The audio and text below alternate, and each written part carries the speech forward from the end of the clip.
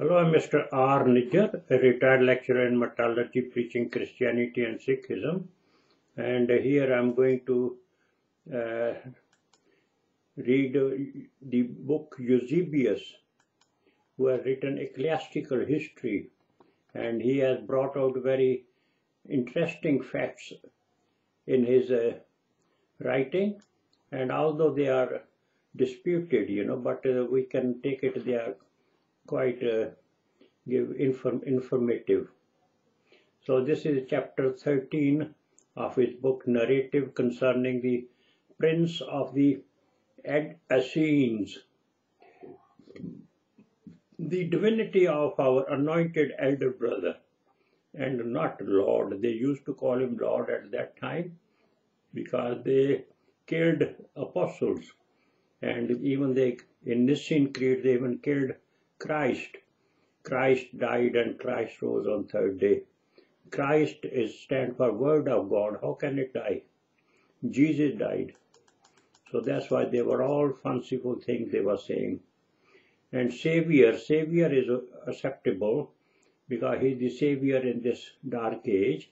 Christ Jesus being noised abroad among all men on account of his wonder working power.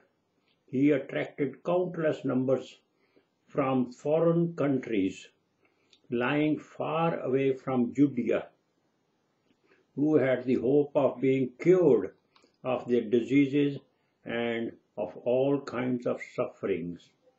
So you can see, you know, his reputation. It extended to many countries so he was well known for his uh, humanitarian work. And uh, when the Jews killed them, then you see their reaction, you know. For instance, the king Abgarius, Abgarus, Abgarus was the name of several kings of uh, Ad Edessa, who reigned at various periods from BC 99 to AD 217. The Abgar, contemporary with Christ, Jesus was called Abgar Ucomo, uh, the, or the black. He must have been a Negro, you know. He was the 15th king and reigned according to Gutschmid. That's the, another uh, historian from 13 AD to 50 AD. A great many ecclesiastical fictions have grown up around his name. The story contained in its simplest form is the in the present chapter being embellished with many marvelous additions. A, a starting point for this tradition of the correspondence with Christ, from which in turn grew all the later legends may be found in the fact that in the later part of the second century there was a Christian Abgar king of Edessa at whose court Barde, Bardesanes, the Syrian Gnostic, enjoyed high favor. And it is certain that Christianity had found a foothold in this region at a much earlier period. Now, when there was a Gnostic, then you cannot be a Christian because Christian is adjective. Gnostics are Christ themselves and they are solitary and they make other people solitary. And when you become a solitary, then you are a Christ, not a Christian. Christian are the blind followers of the book, book knowledge. They don't have any spiritual understanding. From the book you can ask anything. So soon after the time of the, the pretended correspondence was very likely forged and foisted back upon the Abgar who was contemporary with Christ. Compare is uh, you're comparing uh, this and that.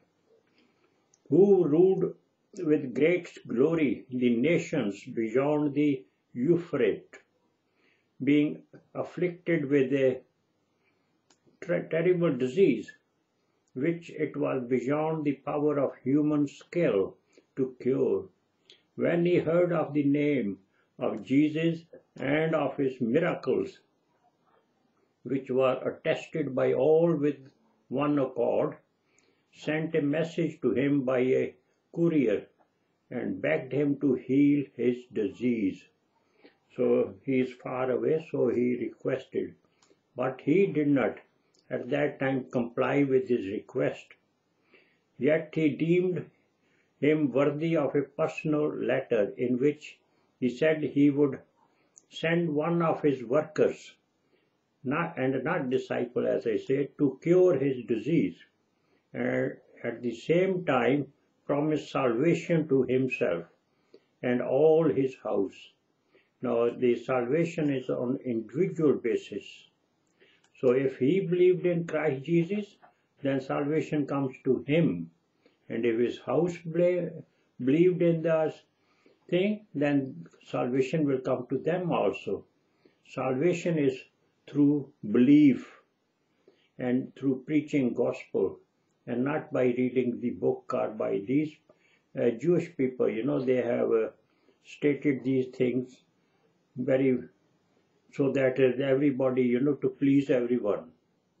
Just believing in Christ Jesus and letting Him enter into your heart can earn you salvation. So that's how you earn salvation when inside your heart, uh, the house, which Jesus' blood has cleaned, if you let Christ to enter into that house, open the door for him and let him abide by you, let him guide your life, then you get salvation.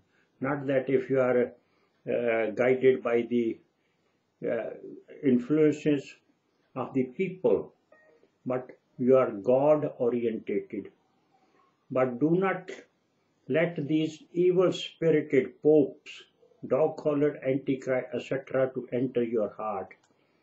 So that's how they caught the uh, poor people, you know, wolves in sheep's clothing. Not long after his promise was fulfilled, for after his resurrection, resurrection from the dead and his ascent into heaven, Thomas, that is the uh, Saint Thomas on the tradition in regard to Thomas, they refer some book. One of the twelve apostles under divine impulse sent Thaddeus, who was also numbered among the 70 outer circle laborers, and they were not disciples of Christ.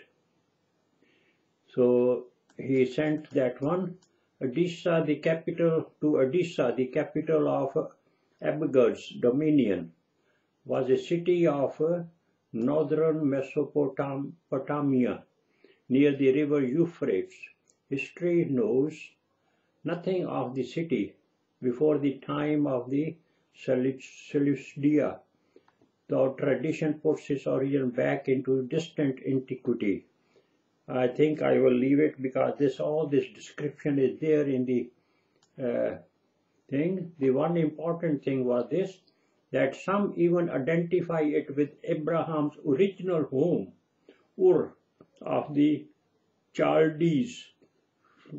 Original home means that people were salt of the earth. Abraham was salt of the earth, so they they were better than those Jews. In the history of the Christian church, it played an important part as a center of Syrian learning. Ephraim, the Syrian, founded a sem seminary there in the 4th century, which after his death fell into the hands of the Arians. So, as a preacher and evangelist, he was sent as a preacher and evangelist of the preaching and not teaching of Christ in Christ we preach gospel and we don't teach. So in the next video I will go further what happened then. God bless